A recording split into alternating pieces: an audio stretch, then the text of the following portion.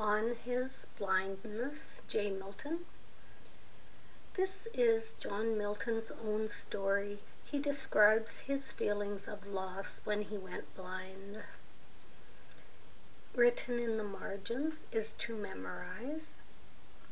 Written in 1655, March 25th, the calamity was fresh, and in the first half of the poem is grief because he cannot serve.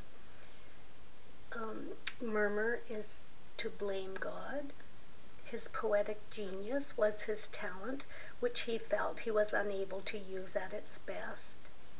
There is something abstract, keeping in mind his goal and doing all they possibly can. Calmness and quietness also serve. Closes with a quiet resignation and awareness of the immenseness of God's plan. On his blindness.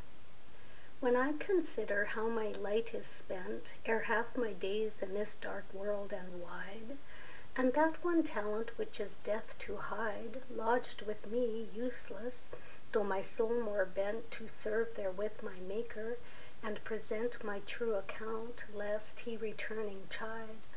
Doth God exact day labor, light denied? I fondly ask, but patience, to prevent that murmur, soon replies.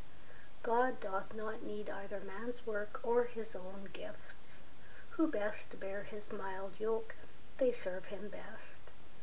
His state is kingly, thousands at his bidding speed, and post o'er land and ocean without rest. They also serve who only stand and wait.